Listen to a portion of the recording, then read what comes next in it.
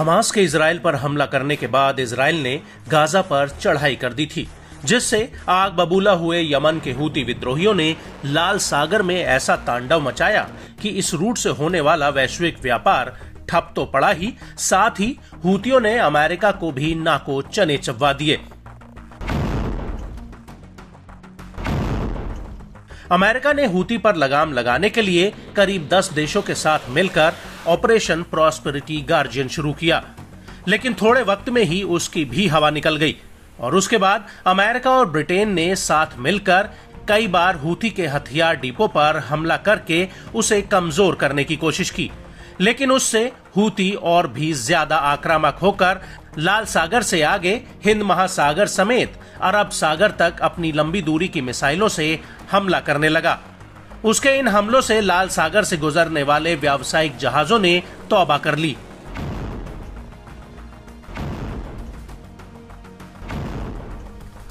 और अब अमेरिका ने 16 अक्टूबर 2024 को यमन के भीतर हूती के पाँच अंडरग्राउंड हथियार डिपो पर एक बहुत बड़ी एयर स्ट्राइक की। अमेरिका ने यह हमला अपने बी टू स्टेल्थ बॉम्बर से किया। अमेरिका ने यह हमला ब्रिटेन के साथ मिलकर किया था। हूती पर नकेल कसने के लिए बाइडेन को अपना सबसे ताकतवर हथियार उतारना पड़ा।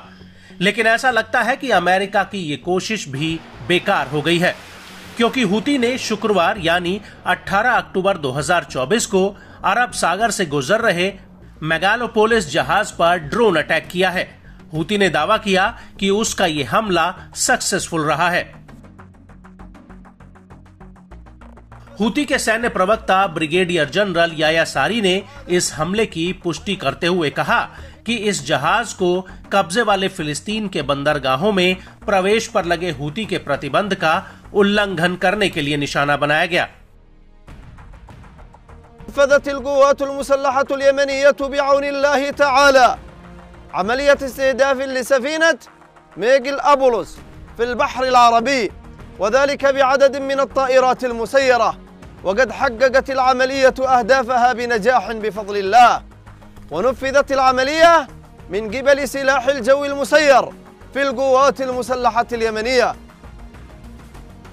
एलएसईजी से मिले डेटा के अनुसार माल्टा के झंडे वाला कंटेनर जहाज मेगालोपोलिस अभी ओमान के सलाला बंदरगाह की तरफ बढ़ रहा है इस जहाज पर हमले के साथ ही हूती के मुखिया अब्दुल मलिक अल हूती ने हमास के चीफ याया सिनवार की मौत पर दुख व्यक्त करते हुए कहा कि यदि इजरायली शत्रु ये मानते हैं कि सिनवार की शहादत से गाजा में प्रतिरोध मोर्चा ध्वस्त हो जाएगा या उसके लड़ाके हतोत्साहित हो जाएँगे तो वे भ्रम में हैं।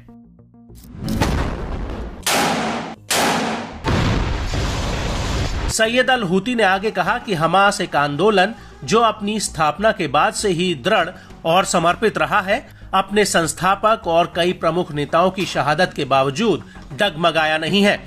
अब्दुल मलिक अल हूती ने कहा कि हमास कभी भी प्रतिरोध का झंडा नहीं छोड़ेगा, युद्ध का मैदान नहीं छोड़ेगा या आत्मसमर्पण नहीं करेगा।